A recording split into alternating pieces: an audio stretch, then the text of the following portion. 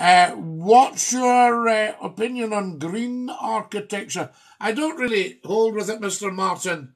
Um, I feel we started to lose the way after the Second World War. You know, so in the 30s, you had some pretty good architecture up till then, but the modern stuff, it's too, there's too much commie style architecture. Where are the great buildings, you know? With the Palladian style. I like the Palladian style. Check that one. I like Baroque architecture. I wouldn't mind a Baroque house. There's a house in Yorkshire. It's huge, but it's actually two houses. One bit's Baroque and the other's Palladian. Isn't that wonderful? And it's the biggest country house in Europe.